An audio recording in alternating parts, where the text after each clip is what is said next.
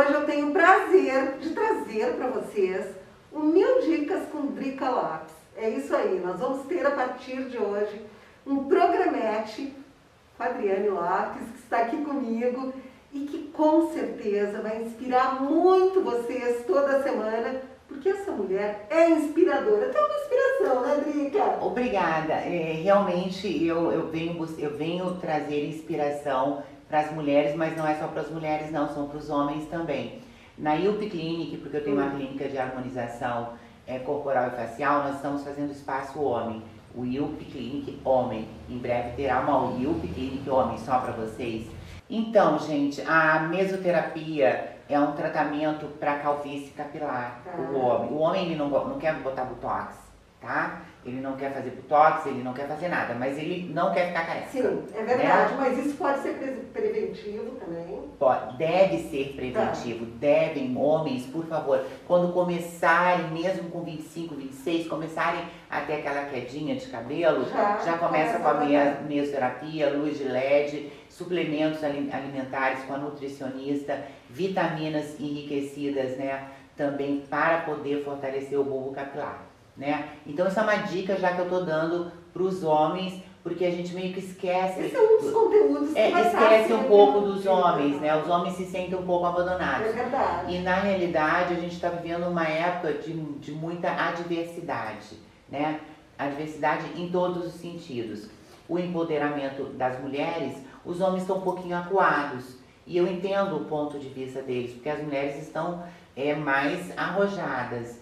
E os homens também querem ficar bonitos, querem cuidar do seu cabelo, querem também aplicar seu botox, sua harmonização, enfim. E tem que né? se sentir à vontade na clínica que vai. A clínica E- vai ter um espaço especial para eles, ele, não é? pro homem se sentir à vontade, Carmen, ele tem que ter um espaço para ele. Com certeza. A sala dele vai ter um banheiro para ele, vai ter uma tela lá com o Sport TV, vai ter uma recepção que é só dele, com revistas de Vamos carros. pensar em tudo. Pensamos, pensamos em tudo.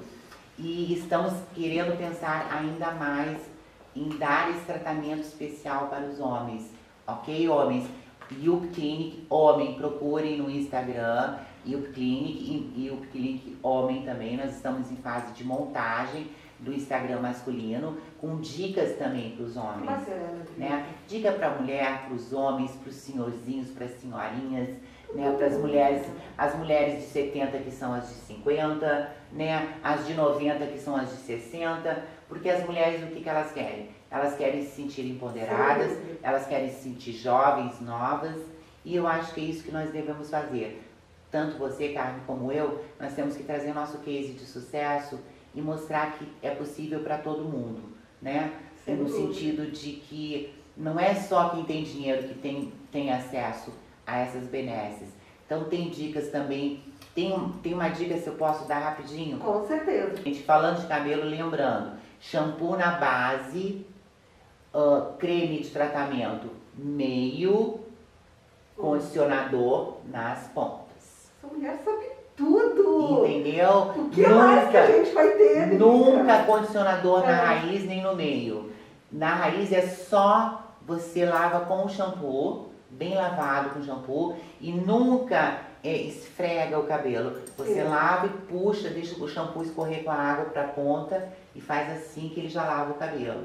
Senão maltrata a cutícula Claro. aqui da ponta. Sempre finaliza com con- condicionador. Por quê, Carmen? Para fechar a cutícula Claro. do cabelo, né? Então isso em casa, isso no salão de beleza, qualquer coisa. Dica, me diz uma coisa. É, esse é um dos, dos temas que vai ter De mil, mil dicas que nós Sempre teremos. com muitas variedades, com assuntos diversos também, não é? Muitos, muitos. vai desde a moda, beleza, religiosa, comportamento. A Drica vai estar aqui toda semana no Mil Dicas de Drica Lopes.